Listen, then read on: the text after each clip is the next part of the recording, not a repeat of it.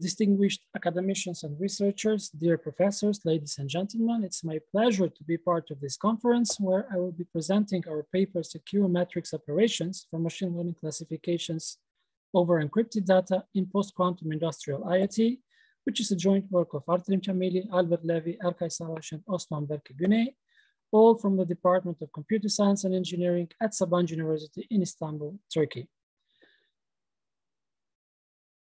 Unlike privacy-preserving machine learning training algorithms, privacy-preserving machine learning classification algorithms, as the name points, are concerned only with the classification stage.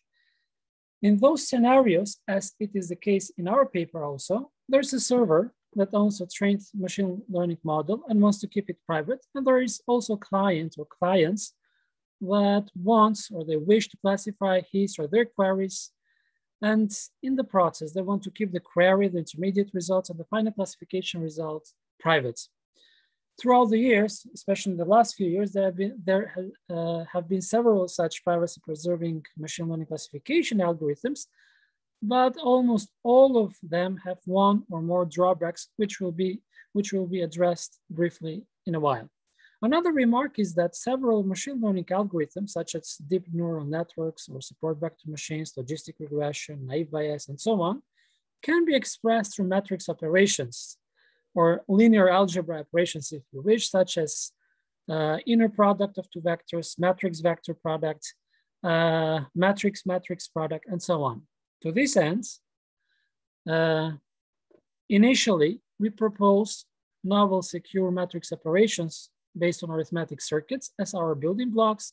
And on top of those blocks, we construct novel privacy preserving classification schemes for few machine learning classifiers, such as support vector machine, machines, logistic regression, and naive Bayes. In the process, we set strict privacy, security, and efficiency goals, such as total privacy of the trained model, total query privacy, finally intermediate classification result privacy, and there are other properties as well, which will be elaborated in the upcoming table. Since our underlying uh, cryptographic primitives are shown to be resilient to computer attacks, to quantum computer attacks, that, that means that our schemes are also applicable to the post-quantum world. It has been shown that our theoretical analysis and, and extensive experimental evaluations show that our schemes outperform the state of the art in terms of computation and communication costs. Moreover, they also show better security and privacy characteristics. Thus, this makes our algorithm suitable for devices with limited resources that should satisfy some strict security and efficiency properties, which are over often require, requirements in the modern day industrial IoT. Uh, in this table, we compare uh, several schemes, including our scheme, in terms of different uh, security, privacy, and efficiency properties and characteristics. Now let's go with the preliminaries, namely with naive Bayes. We'll deal link with the multi-class uh, scenario where we have C classes in our case. We have N features. All of the features are sets which can take uh, values from the corresponding set. Uh, then we, for the naive Bayes, we have the class probabilities and conditional class feature value prob probabilities for all classes and all feature values of all feature sets. Uh, thus, all of those probabilities form our trained model. So if we have an unclassified query given with this vector, uh, which has n entries, and each entry is basically an element of the corresponding feature set, then we classify this query X according to the trained model M, thus the probabilities, by assigning the labor or the class which has the higher posterior probability, basically. If we define um, variable f, which is basically the sum of the cardinalities, the number of elements of all of the feature sets, and furthermore, if I define the parameters of each of my C classes in this way that in my first index of this raw vector, if I put my class uh, probabilities proceeded by conditional class feature value probabilities in order for all feature values and all feature sets, then if for all of the classes, if I kind of stack up those uh, um, system those probabilities of those classes, then I have a matrix, which basically I'm going to call my trained model. And for each class, basically in each row, it has those uh, parameters or probabilities related to the classes. In similar fashion, let me redefine this query vector for the naive Bayes, naive Bayes case in, in the case where in the first index I put one, proceeded with all of the feature values of all of the feature sets in order, uh, such that if a certain uh, index of the original, if a certain entry of the original um, query appears in this extended or redefined uh, query vector, its value is going to be one, otherwise everything is going to be zero. In that case, this formula over here, or the classification of this unclassified query X can be expressed in terms of matrix uh, column vector multiplication. As a result of this metric and column vector multiplication, where the column vector is this redefined X user query.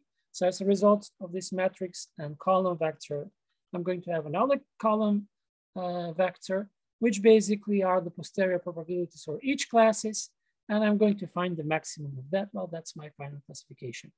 So I'm doing it in terms of matrix operations. I'm just going to copy paste this formula because I'm going to need it later on for support vector machine and logistic regression. So let's see what happens over here. So for the support vector machines, we have F features. All of the features are basically feature sets. Uh, and they have their discrete values that, that can take, if a certain data set is continual and can discretize it. I've also C classes. And for each of those C classes, basically I have a hyperplane for the support vector machine, uh, which is given with those weights and the bias in the beginning. Okay, so basically if I have C classes, I have C such hyperplanes. Now, as I did with naive Bayes, if I stack those hyperplanes, those uh, raw vectors basically, I stack them up uh, then I'm going to have my trained model for the support vector machines, which are the weights or the hyperplanes for each of the classes. Now, if I have a query which looks like this, then I'm going to classify it in similar fashion by multiplying the, the trained model with the column vector query X and this and the maximum in the column, the resulting column vector is going to be basically my classification. Something similar happens with the logistic regression during the classification stage. So in the classification stage, they have all the same form, but they differ in the way that the trained model is obtained during the training phase. But in the classification stage, they have the same form. However, this formula over here classifies only one query. Now, if I have Q queries, vector, column vector uh, queries, and if in a way, I stack up those query vectors now. I just merge them and I have the query uh, matrix S, the queries matrix S. Then I'm going to classify each of them using matrix matrix multiplication because it's going to be a matrix. Basically, I'm just illustrating it with uh, this image, and this is from the naive Bayes case, but it's also applicable to the others, the support vector machine, namely. Uh, so this is my trained model the parameters for each of the classes are raw vectors. And those are my queries, Q queries, they're column vectors. Uh, so when I'm going to multiply the matrix with each of those columns, I'm going to get a certain column for that query. And in that column, I'm just going to find the maximum value of that column, which is the final classification of that corresponding query, which corresponds to the, uh, the index of the query. Somewhat homomorphic encryption, those are public key crypto systems and they allow homomorphic encryptions on the ciphertext, which means on the ciphertext, we can process data without decrypting them. And the operations that we can homomorphically do on the ciphertext are additions and multiplications. The plain text and the ciphertext are on those uh, schemes, somewhat homomorphic schemes are polynomial rings, uh, such that their coefficients are integer integers modulo t and q respectively. Now, if we choose the polynomial modulus n and those coefficients t and q in a wise manner, then this will allows us to have to opt to do SIMD operations over the polynomial coefficients, which are given, these are the operations that we can do and they're illustrated with this figure over here. So basically if I have a ciphertext AC, and those are the coefficients of the ciphertext, another ciphertext BC, those are the coefficients. If I add those ciphertexts, actually it will be translated into component-wise addition of the corresponding of the ciphertext, okay? And this is for addition, and something similar happens with multiplications, with the multi multiplying two ciphertexts. Basically, this is SIMD multiplication over here, and something similar happens also. And we also have the rotation, the possibility to rotate or basically shift the indexes of the ciphertext. So here, if I rotate or shift by two, eh, five was an index one, but now it's going to be an index three in the shifted or rotated ciphertext. This is all done homomorphically on top of the ciphertext. Now we go with our proposed uh, building blocks. We encode our matrices in two ways, row-wise encoding. So we put rows one by one, first row, second row, or we can do it with column-wise encoding. So we encode each column, first column, second column, and so on. Uh, our first algorithm is secure sums of blocks. Basically, at the end of this algorithm, we find the sum of these slots, of slots, of blocks of these slots, and the sum is put in the first slot of the corresponding block. So basically, the sum of those integers is put here, then the sum of those integers in the ciphertext is put in the first block over here, and so on. All of this is done in log D additions and rotations. Ciphertext replication. So basically, we this is illustrated in this figure where we have a ciphertext with D data slots that we are interested in, everything else is zero. And we want to replicate it by R times, and R is the replication rate. Well, this is how I do it. And the, at the end, we'll have those these slots rep replicated by four times. Uh, the next, okay, this is all done in log R rotations and additions, where R is the replication rate, as I said. Secure dimension replication.